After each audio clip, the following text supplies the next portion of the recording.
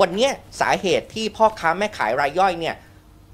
เขาอ่อนแอลงเรื่อยๆ ไม่ใช่เพราะเขาไม่เก่งนะ เราเชื่อว่ามี SME เก่งๆ เยอะผลิตสินค้าออกมาเจ๋งๆ เยอะอืมนักศึกษาจบใหม่ อยากจะทำธุรกิจเปิดร้าน แต่มันไม่มีคนเดินเข้าอ่าถามว่าเพราะอะไร เพราะคู่แข่งอื่นๆ นี่มันรายใหญ่มาก ห้างใหญ่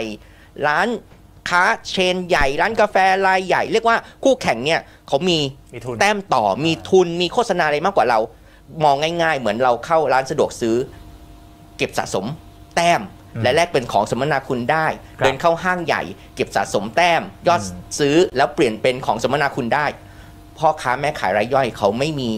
โอกาสจะทำสิ่งเหล่านี้อืมหน้าที่ของรัฐบาลก้าวไกลคือเพิ่มแต้มต่อให้กับพ่อค้าแม่ขายรายย่อยอืมโดยต่อไปถ้าประชาชนทุกคนครับเดินไปอุดหนุนร้านค้ารายย่อย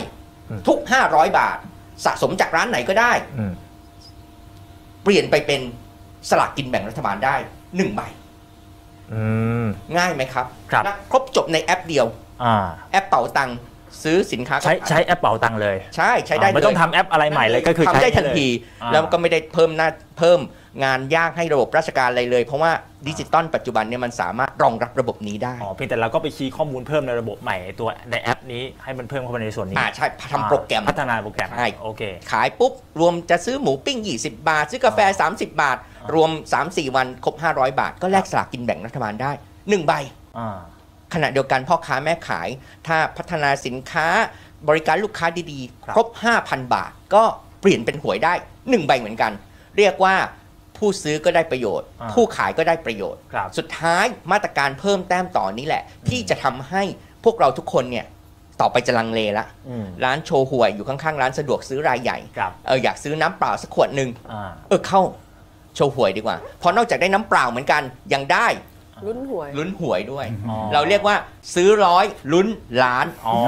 โอเค คือ two way คือหมายถึงว่าคนซื้อก็ได้ร้านก็ได้ถูกไหมใช่ครับอ๋อใช่ครับ ถ้าอันนี้ผมถามล่วงหน้าไปนะ สมมุติว่าเอ่อ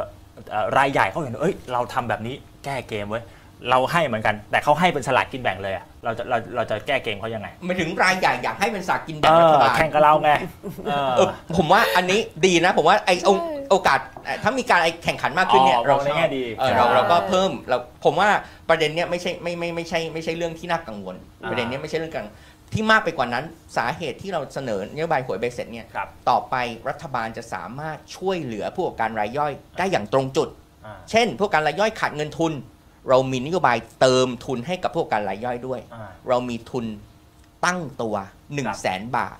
ทุนสร้างตัว 1 ล้านบาทครับ เขาไม่ต้องไปเป็นพึ่งหนี้นอกระบบแล้ว แล้วใครขอได้บ้างอะทุกคน ทุกคนมีโอกาสขอ โดย โดย เราให้บสยช่วยค้ำประกัน อ๋อซึ่งบสยก็มีอยู่แล้วอยู่ในระบบสยมีอยู่แล้วมีอยู่ทำหในน้ารัที่ฐตรงบาลนี้อยู่แค่แล้วปัจจุบันเนี่ยสาเหตุที่พ่อค้าแม่ขายกู้ยากหรือเข้าถึงเงินทุนในระบบยากต้องไปพึ่งหนี้นอกระบบ เพราะว่าอ๋อ เขาไม่มีเงื่อนสิทไขธิ์มันค้ำประกันเยอะใช่ไหม เออเงื่อนไขอ่าเยอะ